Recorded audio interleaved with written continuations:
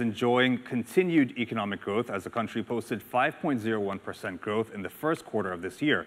However, to ensure the momentum of recovery and steady economic growth in Indonesia, the Institute for Development of Economics and Finance, or INDEF, is urging the Indonesian government to delay the price increases in electricity and fuel.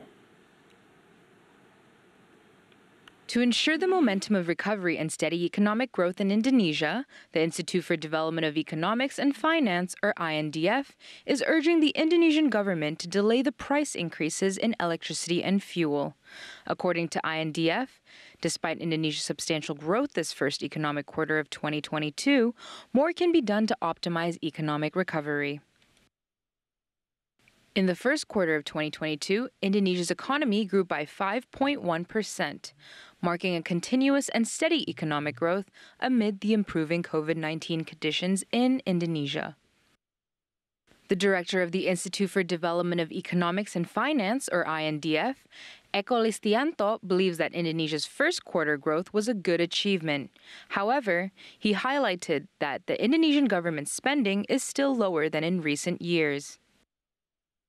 Many ministries and institutions are halting spending, even though, according to Listiyanto, government spending can significantly contribute to growth, as he believes that the government should increase their spending to boost the economy.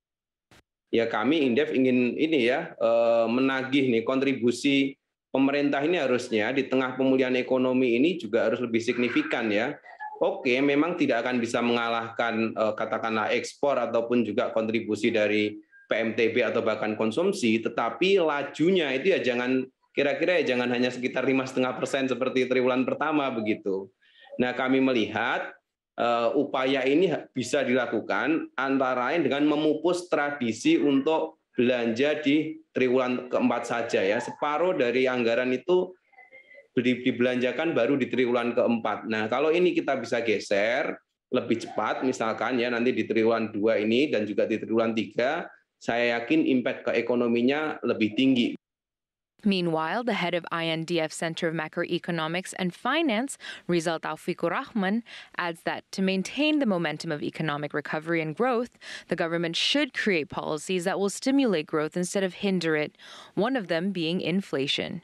Taufikurahman is also urging the government to delay the administered price increases in electricity, fuel oil, and 3 kilograms of liquefied petroleum gas or LPG canisters.